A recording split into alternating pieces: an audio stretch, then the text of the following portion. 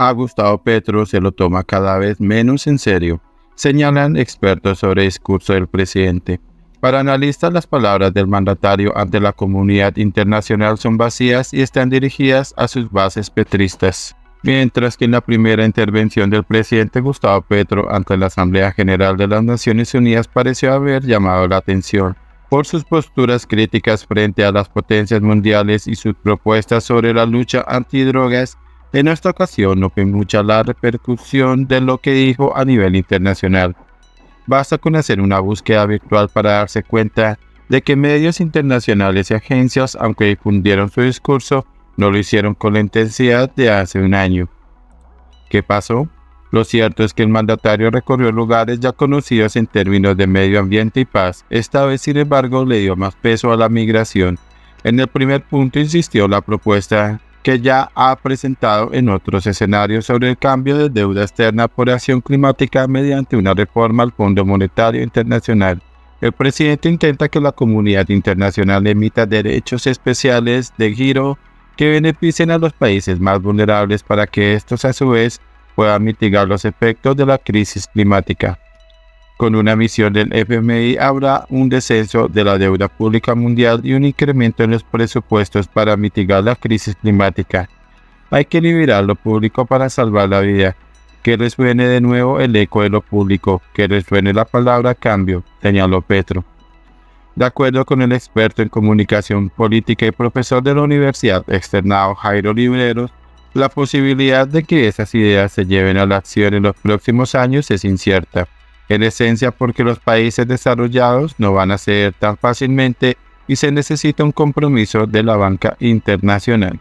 En términos de paz, el jefe de Estado pidió crear dos conferencias, una enfocada en el fin de la guerra en Ucrania y otra sobre el conflicto en Palestina, que puso en la misma balanza.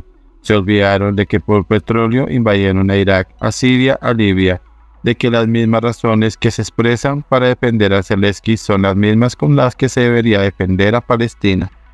Les propongo que Naciones Unidas auspice cuanto antes dos conferencias de paz, una sobre Ucrania, la otra sobre Palestina, no porque no haya otras guerras en el mundo, como en mi país, sino porque enseñarían a hacer la paz en todas las regiones del planeta, porque ambas y solo ambas acabarían la hipocresía como práctica política mencionó. Asimismo pidió desbloquear a Venezuela y atender la crisis migratoria, que como ha advertido en otras salidas perjudica al hemisferio norte. El éxodo de los pueblos hacia el norte muestra con exactitud la dimensión del fracaso de los gobiernos. Este año ha sido un tiempo de derrota. Ha crecido el éxodo en las fronteras. Han puesto a perros galgos a correr tras inmigrantes. Han puesto a gente a caballo a perseguir con látigos de la mano y han construido cárceles, afirmó el mandatario. No obstante las palabras de las acciones, hay un largo trecho. La evaluación que hacen analistas es que si bien sus palabras pueden ser muy atractivas para sus seguidores, a nivel internacional se les considera vacías. Según la docente e investigadora Sandra Borda, cuyos estudios se enfocan en relaciones internacionales y política exterior, lo que queda en evidencia tras escuchar a Petro es que sus discursos están diseñados más para las bases del petrismo que para la comunidad internacional. Lo anterior explicaría la tesis inicial acerca de que no se registran de manera masiva en medios internacionales, aunque por supuesto el panorama de redes sociales es distinto. Para ella, ese discurso a todas luces lo escribió él de su puño y letra, y no contó con la asesoría de Cancillería, Petro suelta estas líneas y no tiene ningún tipo de continuidad en el sector del Estado que las tiene que convertir en política pública. No es de extrañar porque el jefe de Estado en términos de oratoria solo parece confiar en sí mismo. Ya lo decía su ex jefe de gabinete Laura Sarabia cuando se lo preguntaron en una emisora.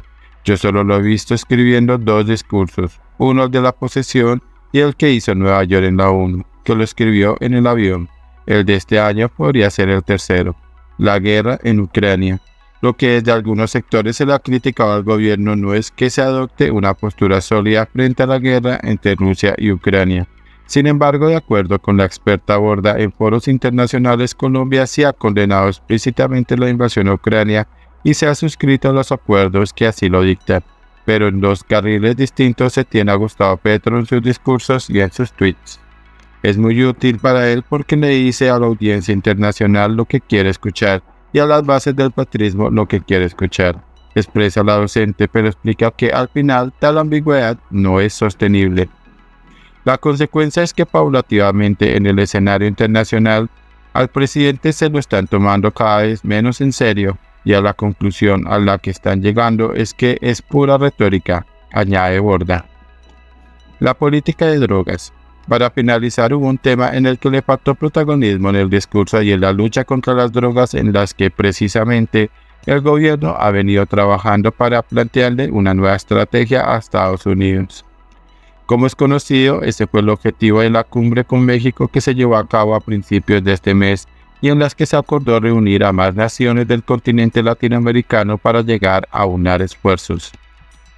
Sembraron injusticia y por detener a campesinos cultivadores de cannabis y hoja de coca en vez de enfrentar la soledad en la que viven las juventudes de sus propios países, las naciones de mayor poder económico y militar han pasado las drogas de la muerte, el fentanilo, fue la única crítica de Gustavo Petro en Naciones Unidas. Lo cierto es que se espera que en próximos escenarios se le dé mayor desarrollo y ojalá Colombia pueda conocer los acuerdos a los que ha llegado el Ejecutivo con la sociedad civil.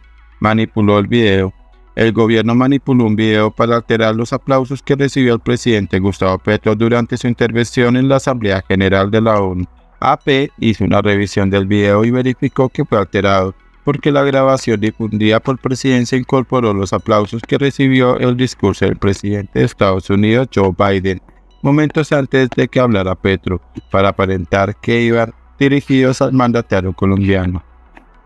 Aunque Petro sí recibió aplausos, el momento final del video compartido el jueves por el Ejecutivo no corresponde a lo difundido en el video de la ONU.